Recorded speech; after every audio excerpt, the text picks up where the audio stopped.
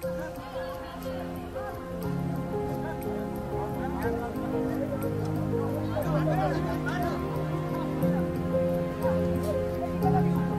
orang punya matlamat.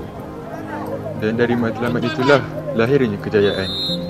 Kejayaan yang dicapai adalah seperti satu perjalanan. Kadang-kadang mudah dan kadang-kadang ianya sukar.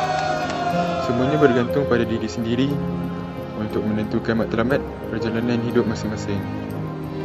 Nama aku Irfan. Dari hidupku penuh dengan kisah pahit dan manis.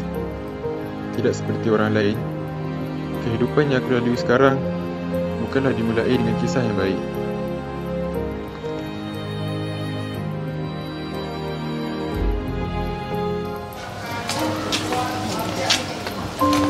Irfan, kau nak pergi mana tu? Cikgu suruh pergi library lah. Korang pergi lah dulu. Aku ada hal sikit lah. Nanti aku datang. Nanti kita orang bagi tu, cikgu. Kelakuanku di sekolah tidaklah terlalu baik. Aku kerap ponting kelas dan selalu merokok.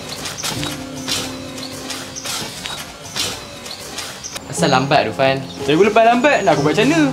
Ah, biar je lah. Aku banyak menghabiskan masaku dengan perkara yang tidak berfaedah. Sehinggalah satu hari, kegiatanku dan rakan-rakanku dilihat oleh pengawas. Oi, kau buat apa tau? Semalam saya dapat laporan, kamu isap rokok di belakang bilik seni. Siapa yang bawa rokok sebenarnya? Beritahu saya, Irfan. Ikan bawa. Apa yang aku pula? Diam! Jangan tekak dalam bilik saya. Ini bilik disiplin. Saya akan ambil tindakan dan merekodkan kamu dalam sistem siasat diri murid. Tindakan akan dibuat seterusnya oleh lembaga disiplin sekolah. Kemungkinan besar hari ini juga tindakan akan diambil akan kamu akan dirotan. Aduh! Walaupun telah dimarahi oleh guru disiplin, aku masih tidak serik dan terus melakukan kegiatan negatif.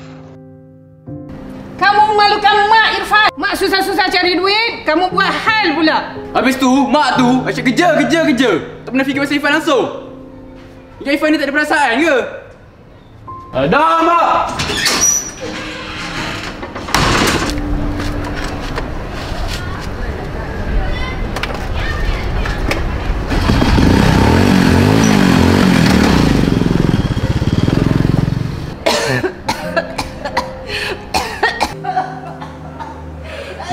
Rasa marahku membuak-buak. Aku merasakan setiap perbuatanku adalah benar. Segala apa yang ibuku katakan, langsung tak aku hiraukan. Aku terus leka di dalam kegelapan. Kerana aku menganggap ianya dapat menghilangkan masalah yang aku hadapi. Tanpa aku sedari, aku telah membuat satu kesilapan yang besar. Sehinggalah satu hari, aku mendapat satu panggilan yang telah merubah arah hidupku. Hello? Apa?